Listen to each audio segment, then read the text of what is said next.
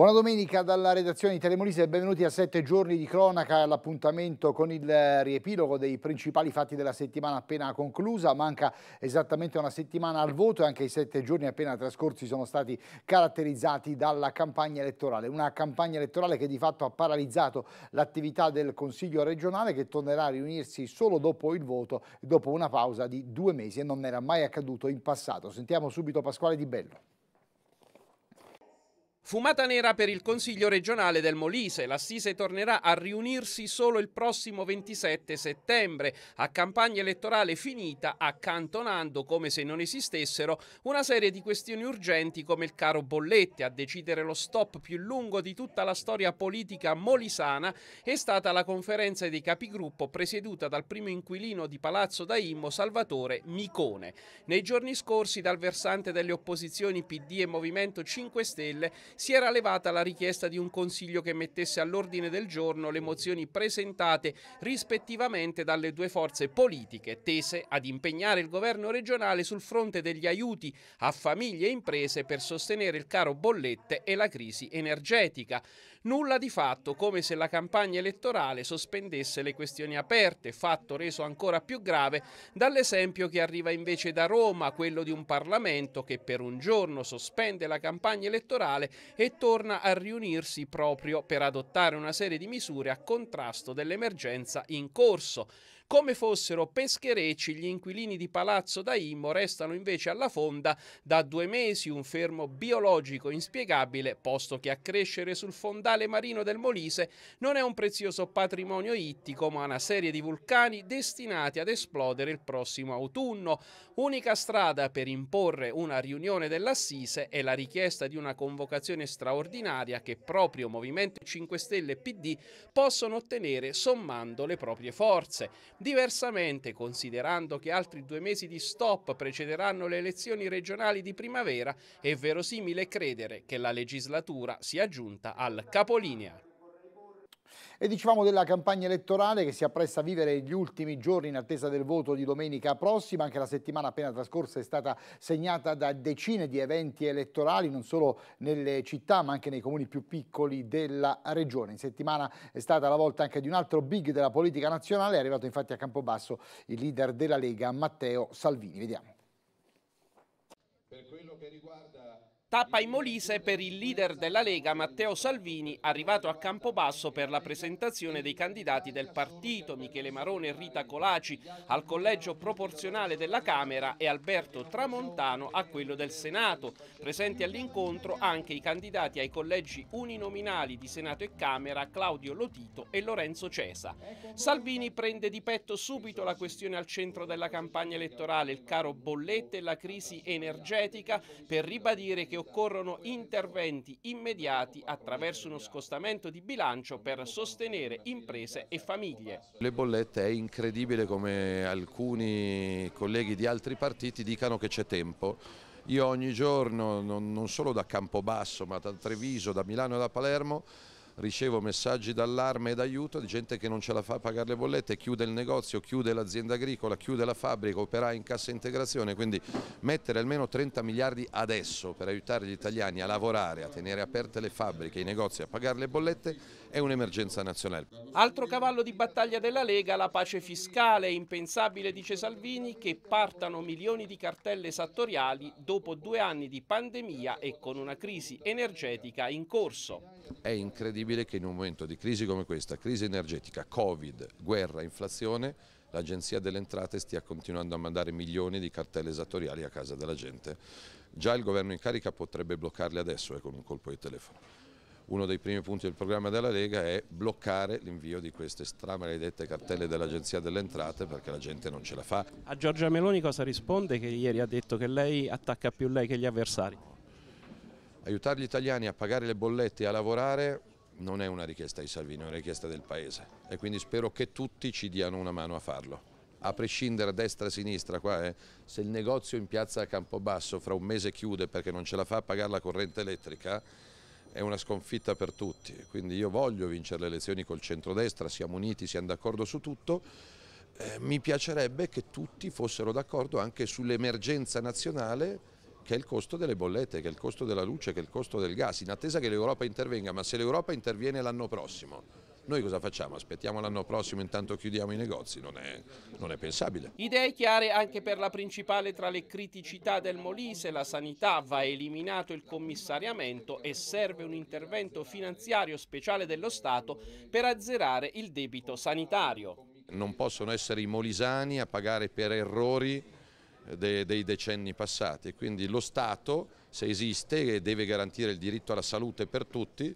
un aiuto, un contributo alla sanità molisana lo deve dare e chiudendola anche col commissariamento che non mi sembra che abbia risolto neanche mezzo problema. Poi uno sguardo al futuro, oltre a quella in corso Salvini apre già la campagna elettorale per le prossime regionali e lo fa recitando un de profundis per l'attuale governatore Toma. Le cose non sono andate nel verso giusto con l'attuale presidente, dice la Lega non è in questo governo regionale e la prossima volta sarà la squadra del centrodestra a fare le nuove scelte. Ci sono le elezioni in Molise, anche nei primi mesi dell'anno prossimo abbiamo già le idee chiare perché mi sembra evidente che qualcosa non abbia funzionato al meglio in questi anni, bisogna anche fare autocritica. Noi abbiamo le idee assolutamente chiare e poi su, sui nomi sceglierà la squadra, sceglierà il centrodestra al completo. Sicuramente alcuni passaggi dell'attuale Presidente non, non sono stati particolarmente brillanti, mettiamola così, però una cosa per volta. Un sacrosanto diritto, la pensione per chi la merita e il lavoro per e non solo politica perché nella settimana che si è appena chiusa ci sono stati anche diversi rilevanti fatti di cronaca in regione, quello che ha fatto più parlare e che ha varcato anche i confini regionali è sicuramente il caso di Casalciprano dove i carabinieri hanno liberato una donna che sarebbe stata segregata dai suoi parenti per oltre vent'anni in una casa del centro storico del paese. Vediamo non vuole più tornare nella casa dove sarebbe stata tenuta segregata per oltre vent'anni e non vuole più incontrare i suoi parenti. Ogni giorno, da quando la settimana scorsa è stata liberata, telefona ai carabinieri per ringraziarli. Si trova in un posto lontano da Casalciprano, il suo paese, il luogo dove avrebbe subito violenze e soprusi dal fratello e dalla cognata. Lei, raccontano gli investigatori, ha parlato solo quando ha capito che non l'avremmo più riportata in quella casa. Si è sentita liberata e a quel punto ci ha raccontato tutto quello che ha subito in questi anni e anche firmato firmato la querela. Questa che vedete alle mie spalle è l'abitazione all'interno della quale si sarebbero consumate le violenze, la segregazione per tutti questi anni. Si trova in un vicolo del centro storico di eh, Casalciprano. All'interno vivono eh, il fratello della donna che, subito, che, avrebbe subito le violenze e sua moglie. Ieri, appena la notizia si è diffusa, si sono difesi, hanno negato tutte le accuse, hanno respinto tutte le accuse. Oggi si sono chiusi nel silenzio. Qui alla porta di casa è un via vai di giornalisti che vengono a suonare al campanello per avere loro dichiarazioni, ma eh, nessuno apre la porta, le eh, finestre, le porte sono chiuse. Moglie e marito sono indagati a piede libero con l'accusa di maltrattamenti e sequestro di persona. Non sono stati ancora sentiti, avrebbero costretto la loro parente a stare in questa stanza senza riscaldamento. Il paese si divide tra chi crede fondate le accuse e racconta che qualcosa forse non andava in quella casa e chi invece difende i coniugi. Temo che non lo sappia, non lo so. Qualcuno diceva che non la faceva uscire, la, quella la cognata. Parecchie volte l'ho vista portare, portava in campagna, lo portava a mangiare in campagna, che loro tengono campagna allo sud. La portavano con loro sì, quindi? Sì, sì, sì. Adesso ho sentito pure io che stava chiusa dentro la casa, non lo so perché, boh. Che è vero, quello non lo so, non che dice. Perché tu, ad esempio, dentro la casa della persona non puoi sapere quello che succede, quello che si fa, quello che si non fa. Si brucia la pasta, non si brucia, si cuoce, non si cuoce. Noi non possiamo sapere, perciò. Per il paese è una brutta storia, eh? Eh sì, certo. Un po' di dispiacere tanto. A microfoni spenti qualcuno racconta anche del matrimonio della figlia dei coniugi oggi indagati, celebrato in tempi recenti, al quale partecipò anche la donna che sarebbe stata segregata. Il sindaco Eliseo Castelli spiega che sul caso erano stati attivati i servizi sociali, ma chiede prudenza.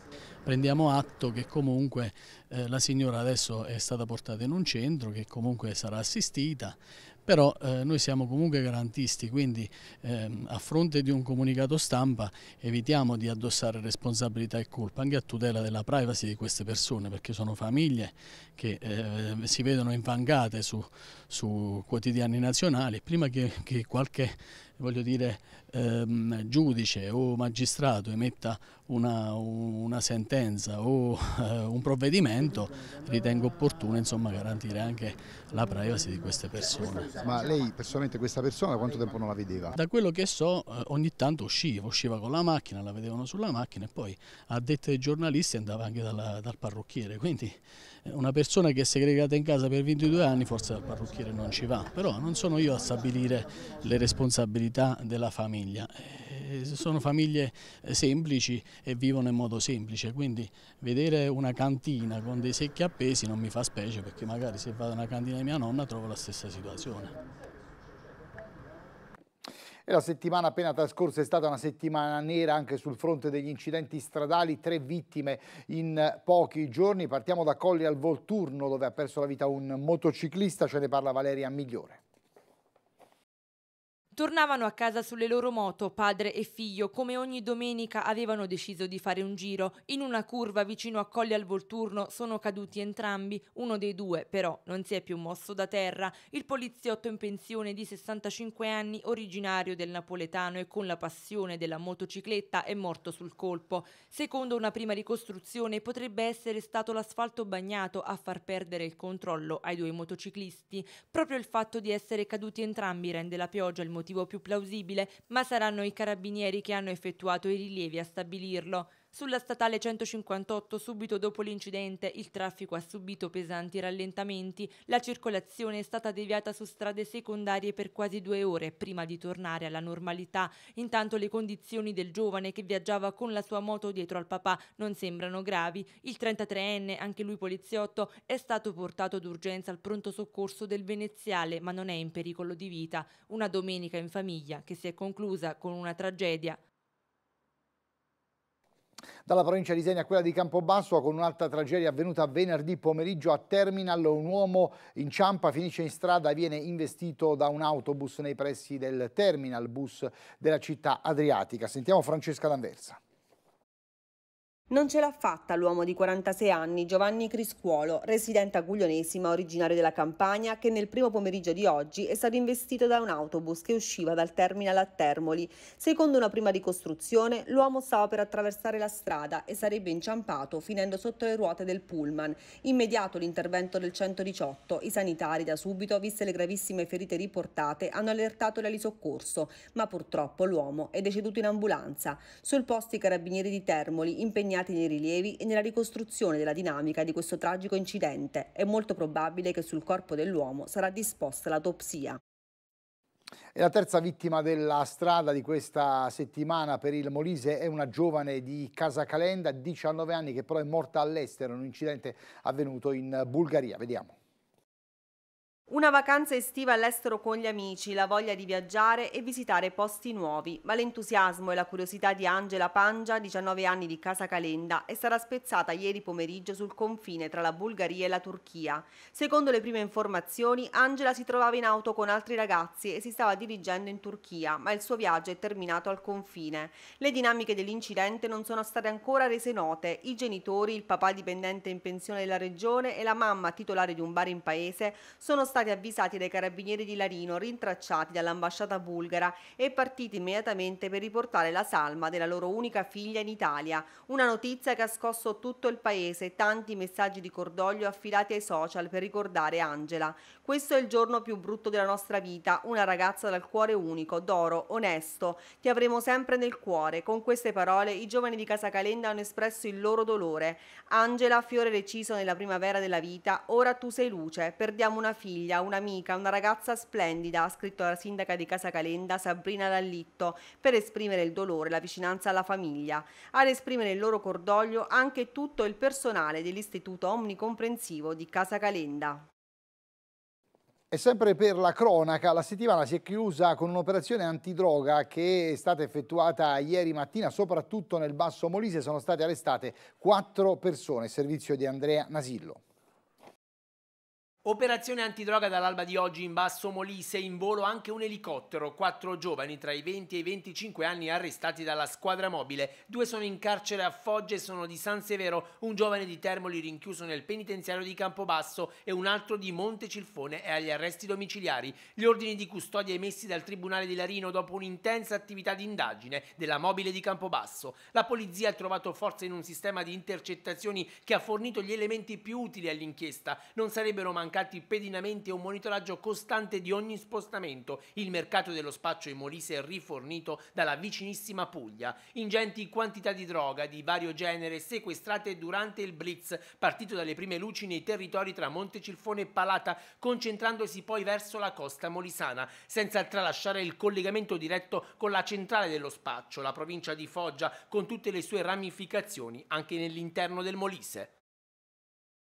La settimana che si chiude ha avuto anche un'altra vicenda che ha dominato la cronaca, quella del Gemelli Molise, perché il TAR si è pronunciato sul ricorso che era stato presentato proprio dal Gemelli sul decreto firmato dal commissario eh, Toma per la vicenda di radioterapia. Ebbene, il TAR ha bloccato l'efficacia di quel decreto. Sentiamo.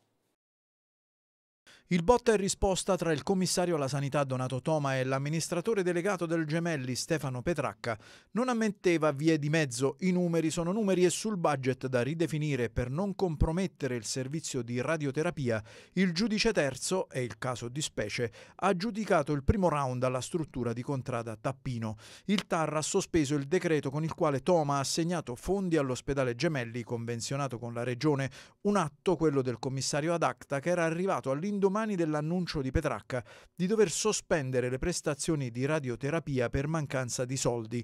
I soldi non impegnati in alcune prestazioni specialistiche era stata la soluzione individuata da Toma, diagnostica e oncologia ambulatoriale, erano stati spalmati su radioterapia che, aveva annunciato il governatore, avrebbe potuto continuare a funzionare.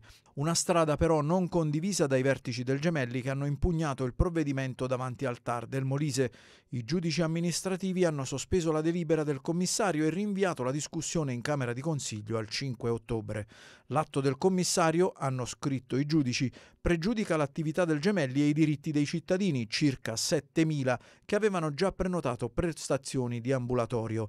La sospensione generalizzata e indiscriminata di tutte le altre prestazioni di specialistica ambulatoriale da erogarsi all'ospedale Gemelli a partire dal 19 settembre, paralizza anche le prestazioni dirette a pazienti regionali che non risultino fruibili con tempi appropriati in altre strutture della regione, è la conclusione del TAR.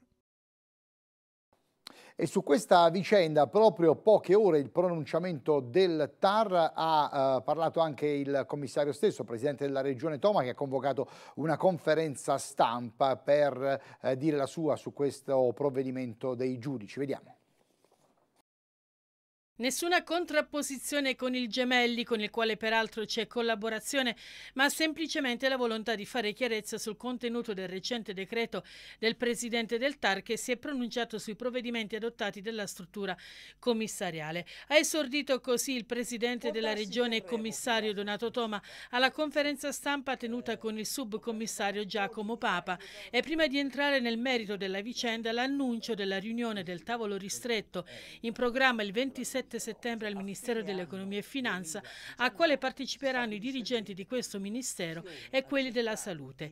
Il Molise chiederà lo sforamento del budget annunciato, poi il chiarimento sul decreto del Presidente del TAR. Il TAR dice Va bene che voi, eh, che voi, sospendiate le prestazioni e reindirizziate il budget, noi non possiamo sospendere, e il TAR ci dice di non sospendere, quelle prestazioni ehm, destinate a pazienti regionali che siano strumentali a, eh, al trattamento di patologie oncologiche e cardiologiche. Ma questo è, è normale.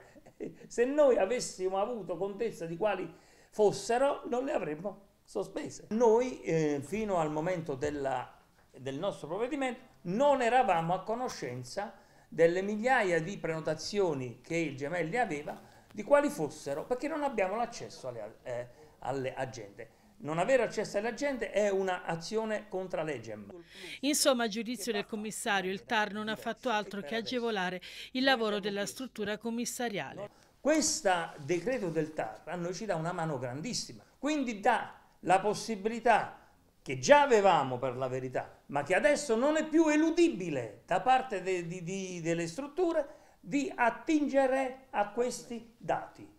Non resta dunque che attendere il 6 ottobre quando si terrà l'udienza cautelare, questi gli scenari prospettati da Toma. Può succedere che la sospensione così come, eh, ehm, come assunta dal Presidente del TAR sia confermata, che poi si deve andare nel merito ma là ci vuole tempo, sia confermata. In quel caso nulla cambia rispetto a quello che stiamo facendo oggi. Può succedere che eh, si dica a seguito di nuovi documenti, può darsi che il TAR dica in maniera eh, definitiva, guardate che una serie di queste prestazioni sono sospendibili e reindirizzabili e non cambia nulla. Può darsi che revochi la sospensiva eh, a seguito dei dati, ma non cambia lo stesso nulla, perché noi di struttura commissariale non permetteremo che le prestazioni di cardiochirurgia e di radioterapia vengano bloccate.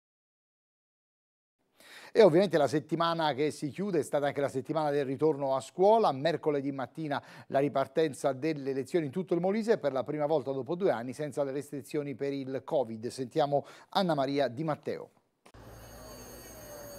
Si torna tra i banchi di scuola oggi anche in Molise, un ritorno diverso rispetto allo scorso anno, un ritorno alla normalità senza più quelle restrizioni che negli ultimi due anni hanno condizionato la vita anche all'interno degli istituti scolastici.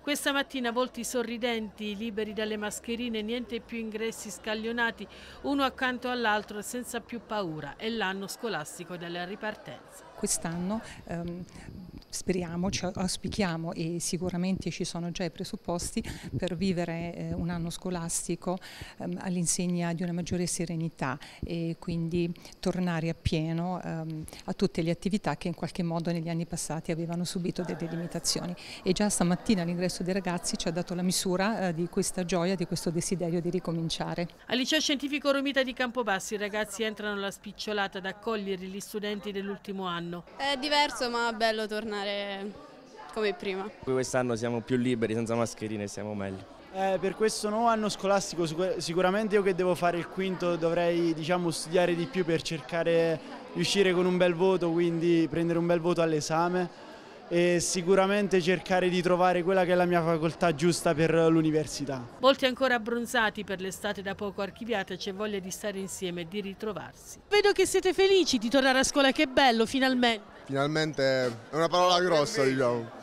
Avremmo preferito, salve prof, rimanere eh, a casa in vacanza, però siamo tornati. Ma non si può. Che classe dovete frequentare? Il quarto, per fortuna. Ma com'è andata quest'estate? È andata bene? Sì, sì, è andata bene. È andata... Rispetto alle altre estate è andata meglio. Perché rispetto alle altre estate? Per il Covid. Covid, si è potuto fare più cose, meno restrizioni pure al mare, più serate. Com'è tornare a scuola senza mascherine? Potete stare accan uno accanto all'altro, insomma, è tutta un'altra cosa. Eh sì, totalmente diverso rispetto all'anno scorso, il distanziamento, la, appunto la mascherina, non, potevo, non avevo il compagno di banco, invece quest'anno è ritornato. Ma so che insomma molti vengono all'alba per prendere il posto in prima fila. Chi di voi? Tutti. Tutti. Io, io alle, mi sono svegliato alle 6 stamattina, alle 6 e mezza stavo già qua. Quindi insomma fino a luna oggi mi sa che ti addormenterai sul banco. No, no, no. Con una buona dose di caffè si fa tutto. Al liceo Galanti, primo giorno di scuola per i soli studenti del primo anno, l'insegnante fa l'appello all'ingresso, anche gli ultimi studenti sono pronti a varcare la soglia della scuola. Domani toccherà a tutti gli altri. Speriamo chiaramente che vada tutto quanto per il meglio perché davvero diventa poi difficile. Stamattina sono entrate soltanto le classi prime? Sì, solo le classi prime perché sono tantissime, sono nove classi, tantissimi alunni, quindi abbiamo cercato di creare un certo ordine, altrimenti sono veramente difficili poi da gestire. Allora, quest'anno scolastico sembra ripartire all'insegna della normalità? Assoluta normalità. E poi ci sono i più piccoli, tenerissimi, ad accompagnarli i genitori un po' emozionati, fieri, orgogliosi, le voci dei bambini riempiono di allegria il piazzale della scuola, per loro è una giornata speciale. L'anno scolastico può finalmente finalmente ripartire e l'emergenza Covid ora è solo un brutto ricordo. E in chiusura parliamo di Telemolise perché in settimana è stato raggiunto un traguardo importante, il canale YouTube della nostra emittente ha raggiunto i 20.000 iscritti, ce ne parla Tonino Danese. Telemolise, azienda leader negli ascolti nella nostra regione, ha raggiunto i 20.000 iscritti sul canale YouTube dove è possibile con un semplice clic e una ricerca rivedere ogni notizia filmato trasmissione che copre un periodo di oltre 10 anni, più di 15 milioni di visualizzazioni con picchi nell'ultimo periodo, 500.000 in un solo mese, numeri che continuano a crescere giorno dopo giorno con l'obiettivo di raggiungere, grazie a contenuti sempre più attuali, tempestivi e vari, il numero maggiore di utenti. Accedere a Telemolise su YouTube è semplicissimo, basta solo cliccare su iscriviti e si ha a disposizione tutta l'offerta nel modo più immediato e facilmente fruibile, ovunque davvero in un attimo. È possibile ricevere Telemolise attraverso YouTube e le smart TV andando sull'app di YouTube e scrivendo semplicemente Telemolise. Facendo dunque la ricerca sull'applicazione si possono rivedere i filmati. Seguire pertanto Telemolise con YouTube è davvero semplice, venendo sempre più incontro con estrema immediatezza la platea di gente ovunque che segue e cerca la nostra informazione e intrattenimento da PC, smartphone, tablet e anche in TV in altissima definizione su un televisore smart comodamente sul divano di casa. Bene, con questo servizio termina sette giorni di cronaca, il riepilogo dei principali fatti della settimana appena trascorsa. Io vi ringrazio per averci seguito, vi auguro ancora una volta una buona domenica.